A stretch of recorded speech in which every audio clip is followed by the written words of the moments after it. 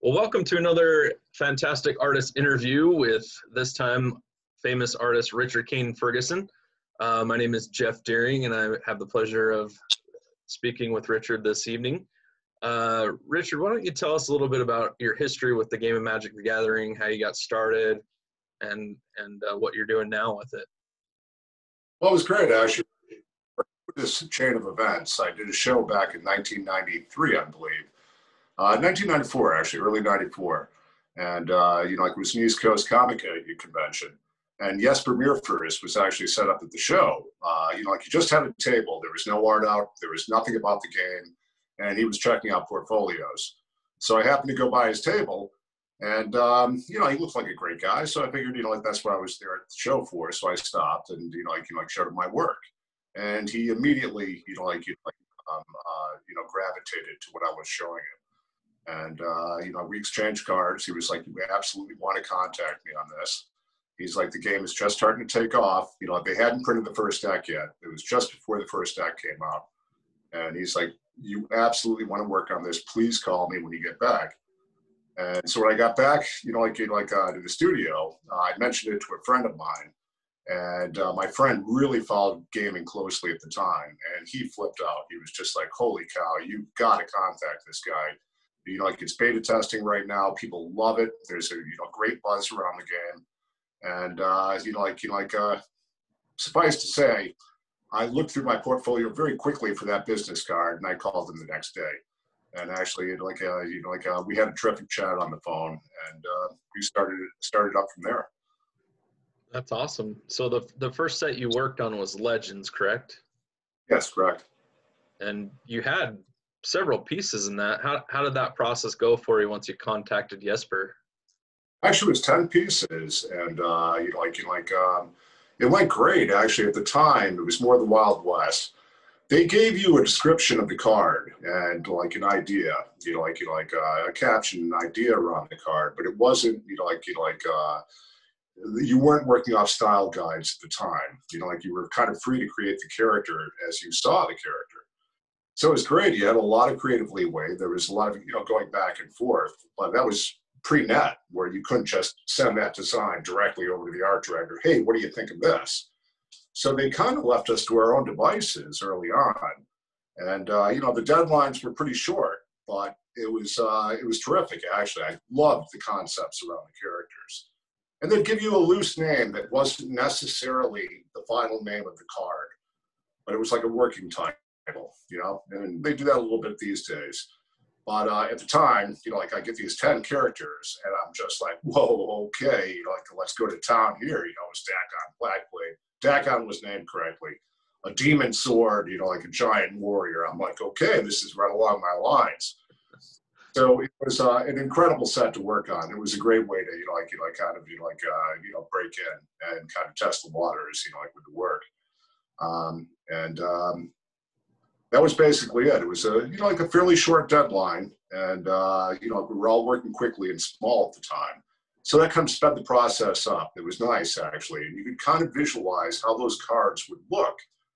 You know, like when you reduced, you know, like you know, like the design down to the cards, there was an advantage to working that small.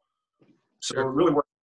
Actually, you know, like it was a, you know, one of my favorite sets when you come right down to it. You know, like on a personal level it was just so much fun, and it was uh, you know like you know like uh, Jesper was a joy to work with. He was a great guy, and he just gave us great feedback on the phone at the time. You'd call up with questions, he'd be right there with answers.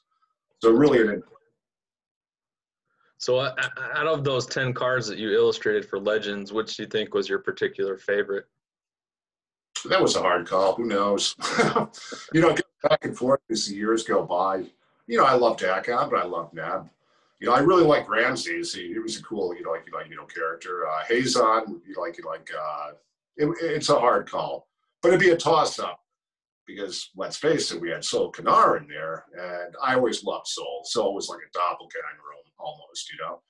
Um, so uh, I would be hard pressed to say. I'd say it's uh, between Sol Kanar, Dakkon, and Nebuchadnezzar would be my favorite.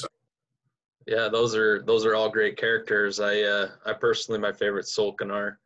I've I've always loved that color color combination and just his smile just gets you, and you're like, yeah, he knows he's a badass. it's fun. All right.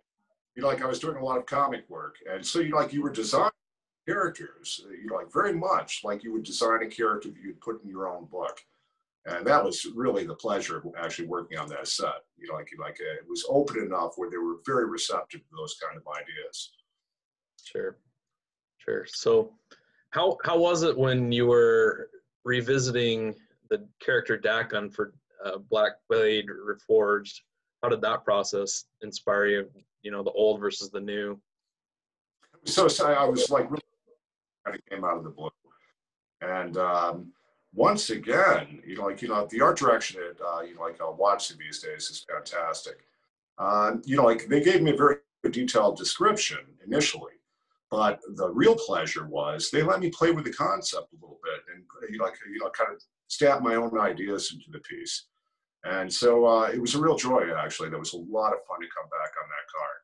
And there's a lot of symbolism in the card that I won't go into right here, but you know, it's there in the card. And that was the fun of it. All, all these kind of Easter eggs that I was putting into the work, you know, like, uh, but uh, a lot of fun. That was a lot of fun, Jeff. What were the couple Easter eggs that you might mention off the top of your head that you enjoyed the most? Well, in the background, there's a death mask of Dakkon. And in the fore, uh, foreground, there's a death mask of Gideon. And I'll just kind of stop there. But there are a lot of touches that I was trying to put in, you know, like, you know, like, you know, like subtle. And it was kind of impression, impressionistically done. But, uh, you know, there, actually. And the cards, I think they print beautifully these days, actually. Like, uh, the, uh, you know, the print the resolution is fantastic. They look great. Yeah. Uh, the latest set, you know, like you know, those were very detailed paintings, and like, uh, and they were large, larger paintings than I used to work. They, I thought they they really uh, printed beautifully, and all the other cards from the deck I've seen look fantastic too. Well, great. Well, let let's take a t- uh, take a step back and and kind of look into your history of becoming an artist. Um, tell us a little bit about what first got you interested in making a career in art and, and your process up until you came to, to that point we already discussed with Jesper. Uh, you know, I, early when I was a kid, uh, my father was an antique dealer, so I was, you know, like he was always picking up art books and like you know, like uh, comics, you know, like you know, like uh, from a lot of the you know, like uh, the shows he was doing. And Dad had impeccable taste. He was a big uh, comic fan when he was a kid. And, uh, you know, like he loved all the guys we loved, you know, like Batman, Captain America, the Young Allies, all these great comics out of the 40s and 50s, right? Sure. So he grabbed awesome books when I was like five or six years old. And uh, the minute, you know, like I saw a Steranko and a Jack Kirby comic, I was hooked. I just loved it. Just I loved the work. And, uh, you know, like, you know, like, uh, I was immediately trying to break down the styles and who was who. Even at like at a pretty young age, I was like you know, very aware of who the artist was, who the inker was, who was the creative team working on the books. So it really kind of just it was an outgrowth from there, and you know, like you know, one thing kind of led to another. And then later, as he got older, you know, like you know, like I became very fascinated with fine art and you know, like you like uh, illustration. You know, the golden age of illustration in particular. And it was a great work to study because the artists were phenomenal back then. You know, you had Maxfield Parrish the, in his prime, N.C. Wyeth, Maxfield Parrish, Hal Foster drawing Prince Valiant, who was influential to so many other, you know, like adventure comics. That the whole thing was like thrilling, actually. You know, like you know, that was the fun prior to the net where if you found an artist you liked, you had to look, you had to find that book, that other book you'd done. You had to talk to other collectors, you had to go to shows, you know, you had to go into the shops and say, hey, here's what I'm looking for. And when you found it, it really meant something because you were like, oh my gosh, this is what I've been looking for. They were like grails, certain books. And so that was uh, pretty much my youth, basically. I was chasing down artists and trying to figure out who was who and you know like how they did it, basically. And then uh, what was your start into art school, like into high school, college? How, how did that process go? Uh, you know, like I was uh, left to my own devices. My teachers were always very cool. They really didn't step on me much. Um, you know, like, you know, like, uh, and they kind of let me follow my own passions. You know, like, you know, like, uh, they, they really enjoyed the work and they were uh, very receptive to it, actually. I had some great teachers in high school, some uh, terrific teachers in uh, college. And the wonderful thing was they weren't pushing a particular, you know, like, you know, like, you know, like, you know, like, uh, you know, like, you know, like, um, style of art. It wasn't like conceptualism or abstract art, you know, like was exactly the way you should go. They were, you know, very much aware of illustration. They were very much aware of, you know, like, you know, like, uh, um, more classical approaches to the work. And, uh, they were very receptive. They were, it was, uh, I had a terrific, uh, terrific teachers actually when I was younger. That's always helpful. I can imagine having encouragement is definitely a, a, step in the right direction. I've seen other artists that have had it the opposite of your experience, and it can be hard to pick yourself up through that challenge and, and rise above and continue what you love. But um, you gotta have you you just absolutely have to have thick skin. You know, yeah. you're all to find somebody who doesn't like the work. Your work is always going to hit certain points, you know, like you like where, especially when you're young where you're really trying to break down these styles. And if you're putting in an authentic effort to do this, you know, like your style will suffer to a certain degree. Your technique will suffer when you're trying to master pen and ink or brushwork. I remember leap, uh, jumping from rapidographs. You know, I could do very detailed pen and ink drawings, right? They were old technical pens. They were great, but they used to clog a lot. You got these incredibly thin lines, and it was cool. But all the inkers that I admired at the time, I was well aware that they used brushes and they also used, uh, you know, like, you know, like uh, pens. And so when I was like, I don't know, 16 or 17, I made the transition to brushes and crow quills. And my work immediately suffered. I had friends who were like, what the hell is this, Fergie? I mean, this looks a little rough for you.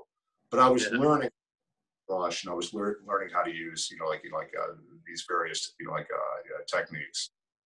And uh, it's time well spent. But you will always find, you know, like hit periods of your career where people don't like what you're doing or they don't understand what you're doing. And that's okay. You kind of know you're on the right track when that happens, you know, because you're trying to push it, you're trying to the envelope. Makes sense. Where where did you attend uh, college and art school? Uh, Syracuse, actually. You know, like you know, like uh, you know, like uh, in 1982. But you know, like uh, between me and you, I didn't finish actually. I went uh, professional career. You know, like uh, my comics sold, and uh, you know, like I was doing a lot of professional work for you know, like bands at the time, and a lot of uh, actually I was doing everything from billboards to working for advertisers, and uh, thinking to myself, hey, like, it's just time to roll with this. Actually, you know. Okay. Well, that's great. Um, now, rolling back into the magic, there you, you did a lot of illustrations through the 90s, and then you kind of disappeared. What what caused you to have that disconnect for that time from Magic the Gathering? Uh, you know, it's a great transition actually. Like you like when you become extremely very closely identified with one particular, you know, like you know, like you know, like uh, you know, like um, one particular company, one particular style, uh, you know, like uh, one genre. It can be uh, it can be uh, frustrating to a certain degree because there's so much work that you have to produce when you're really in the trenches. You know, at the time I was working for like 10, 10 companies at the same time. And like, uh, to be honest, if I did it again, I would have synthesized everything and worked for maybe two of my favorite companies, not spread myself so thin. But at the time, I was making the transition to fine art, actually, and that was where my fascination was. I was starting to work on, you know, like very big canvases, installation size, you know, pieces. I had collectors that were buying them. Uh, so it just seemed like a good time to take a break to kind of refresh my batteries and move in that direction. And, uh, you know, I got married and I renovated houses and I had kids while I was doing all that. But it was, uh, it was time really well spent, Jeff. You have to experiment. If all you're doing is the same thing all of the time, you know, your work will hit a certain level and stay there. And it's wonderful. And, and you know, that's great. It's not like there's anything wrong with that. But if you're looking to, you know, push the envelope a little bit and take it in different directions, sometimes you need that creative freedom that comes from working for yourself and just, you know, like being a fine artist or taking on the projects that you find very appealing. So I kind of went in that direction for a few years, and I'm very glad I did actually. Well, yeah, I, I can completely understand trying to renew yourself, expand your horizons and borders, and become a different artist than you've always been. You know that stagnation is is another word for damnation, in my opinion. But um, you just you quit progressing, but uh, that that makes a lot of sense. You quit exactly. If you quit enjoying the process, exactly. Yeah, you know, it can be frustrating. You know. But uh, yeah, we're, we're certainly glad you you made it back. Who, who was it that reached out? Did Wizards reach out to you, or did you reach out to them to do that, uh, Blackblade? And you know, obviously, we're seeing more cards coming out from you, so that's exciting. But who who renewed that uh, commitment when you came back? Actually, it was of contact like that. It was kind of out of the blue, um, but um, totally exciting. Once again, if you take a break, it was, a longer break actually, but uh, you like you know, like when you come back, you know, like it's just thrilling to actually be back on the work.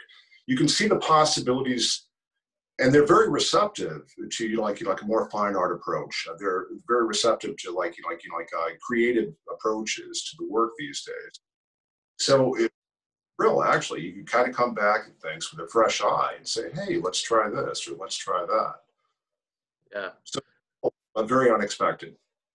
Well, yeah, and a pleasant surprise again from one representing the magic community. I'm I'm, I'm excited that you're back and I know several other people that are too. So um, another question I've, I've always wondered is how did you develop your unique style? One, one of the things when I first got into Magic and I saw cards like uh, Wildfire, Emissary, and Solkanar, and they were just different from all the other Magic illustrations that I saw. And it, you know, the bright colors and the contrasting ideas and the abstractionism, you know, that it was really exciting to see. So if you wouldn't mind describing how you think you developed your own style, who influenced that, and what what brought that about. I look at all the when I was you know, like younger, when I really studied artists closely, and you look at them loosely as your teachers. Really, essentially, they were. You know, like you know, like if you want to do this kind of work professionally, you look at the work with a far more you know not a critical eye, but, but uh, even say discerning you look at the work and you're very specifically trying to break down the artists that you admire, break their process down.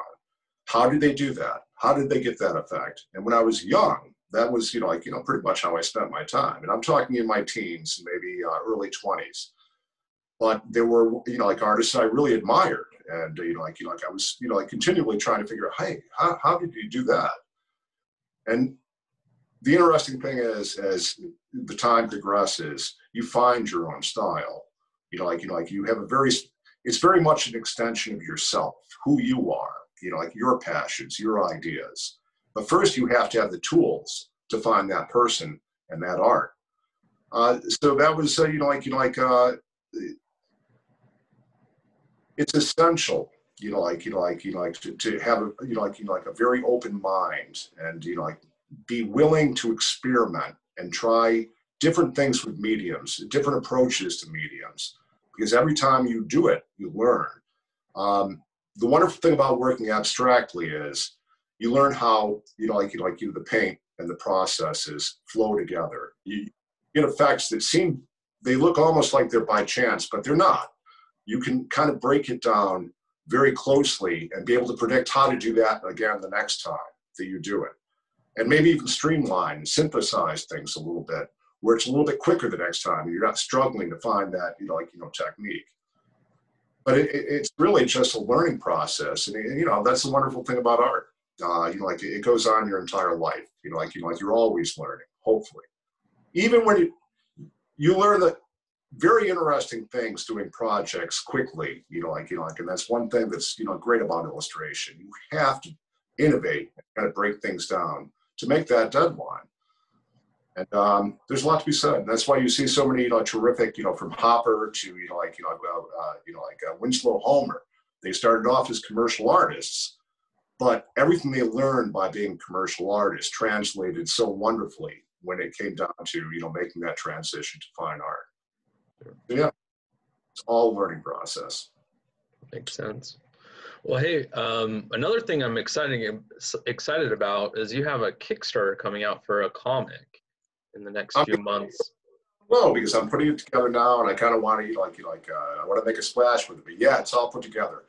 Okay. You know, like I've been on it intermittently, you know, like for the last few years. Uh, but you know, like, it, you know, it's just time to get it out actually. So I'm very excited with it. You know, like, you know, like, uh, I'm just finishing up a lot of the production paintings for it now, and hopefully, uh, you know, like I can run it soon. You know, like I'm waiting.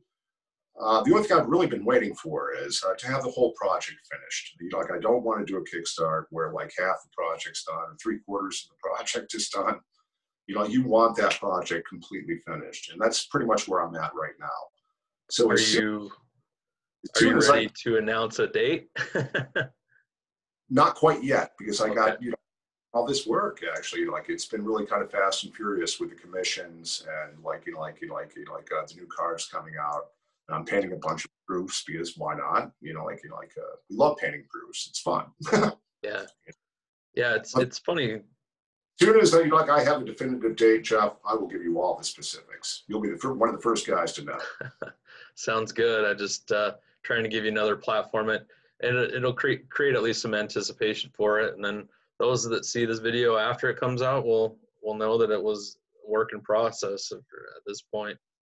So what, speaking of process, that that guy behind you, Bjorn, um, which I'm grateful again for you willing to to let me purchase, but uh, initially he was a, a, little bit different than he is now. What what inspired you to go back and kind of re retouch up and, and do some things with him? You know, with five canvases, and it probably would have been the smartest thing to do. But I love the I love the painting, and I loved it. I looked at it, I just kept seeing possibilities to open it up a little bit. And um, you know, I was working late one night, and I looked at that painting, and I was like, you know, I pulled it down. I was like, what if I touch up this area right here? And then it kind of progressed from there, actually. But it's nothing unusual when you look at artists actually working. There are so many artists that would, you know, finish a painting for a client. Frazetta was a big one for it, actually, Frank Frazetta. Frank Frazetta would finish a, you know, like a, painting for a client, and he'd be, he was a very extremely fast painter, you know, from all accounts. But as that painting sat in the studio, he'd look at it day after day after day, and he'd think, "Wow, there's a lot of possibilities with that painting. You know, like there's, you know, things I didn't have the time or eh, to do at the time, or you know, things I would have liked to have done if I had had a little bit longer to work on it. And he did. He was uh, notorious for actually like he like jumped right back into a, a painting and act. But, so it's kind of I, I think it's just goes with the territory to a certain degree, Jeff. You know, you can't help it. You look at paintings and you always think to yourself, number one, they're never they never seem to be done. You know, like you know, like there's always that next play, you know, like you know, like that next possibility applied. You know? So I couldn't resist a short I just that's that's great. Well, hey, another question I have is, do, are we going to see any more upcoming artwork from you from for Wizards? I know you can't really discuss specifics, but I think you know, like like things look very bright in that direction. That's all. all right, we'll leave it at that.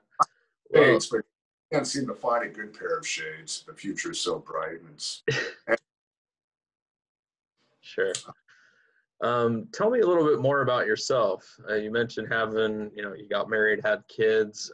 What does your family structure look like? I mean, obviously, I don't want you to go into too much detail, but kind of share a little bit about what yourself, your other hobbies, things you like to do. I've got a great family Jeff. You know, like you know, like uh, I've got a you know a daughter and two sons. Actually, uh, they're twins, but they're fraternal twins, and uh, they're very much like brothers as opposed to being twins. Um, they're wonderful kids. Uh, I have a wonderful wife who I love very much, and um, you know we have a nice property out here. Actually, this has been um, it's kind of uh, shocking. The kids are actually like, you know, finishing up their senior year and he- heading off to college, actually. You know, like my daughter's a little bit older than the boys, and uh, she's uh, 31 now. And she's wonderful. She's finishing up graduate school.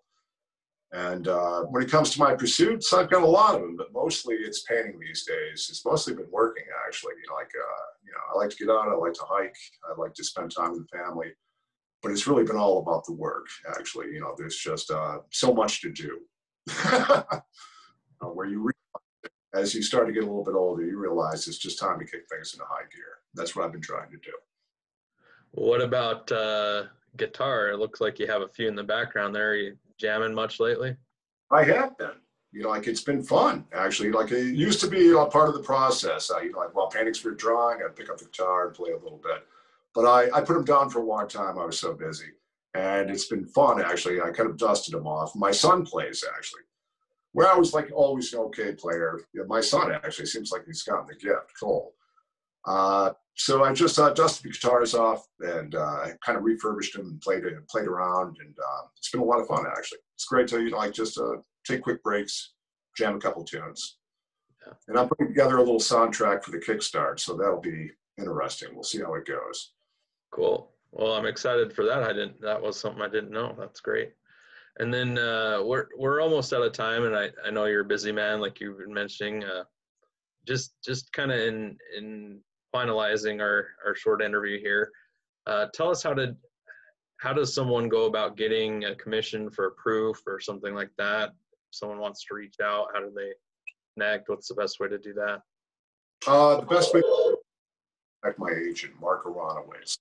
Uh, you'll find him on Facebook. You know, like like uh, he's wonderful. Uh, he's great. He's uh, one of my best friends, and he's a terrific agent, and he is very communicative. Actually, if you contact him with a commission, he will absolutely get back to you. You know, very quickly, actually. And uh, by far the best way to actually catch me. I haven't been online a lot because I've been very busy this summer, but I'm coming back online very soon, actually. But Mark is always the go-to guy. Contact Mark. Great. Well, and then, and then finally, yeah, for my sake and and also for your sake get mark some of that work that you showed me. I mean some of that stuff is amazing. I'd love to see that come to light and i wish i could have bought everything you showed me but man there's just there's some cool pieces. I know that you had one behind you there that um it was kind of like a not a demon but like a god with horns or something. Anyway just stuff like that would be cool to see pop up. Well you'll be seeing some around the project you know, like I'll be, uh, you know, like you know, like uh, releasing during the Kickstart. You know, there'll be tier awards, um, and some of it I want to hang on to because, quite frankly, I, I really um, very proud of the work, and uh, I had a blast doing it. You know, I, you can sell a lot of things, Jeff, but you can't sell everything. That's true. Yeah, I, I I can imagine that. So, well, thank you again, Richard. Uh, we I really appreciate your time, and I, I think this will be well received. Thanks again. Jeff, it was a real pleasure. And it was great seeing you when you came out to visit. Thank you. Uh, have a great night. You too.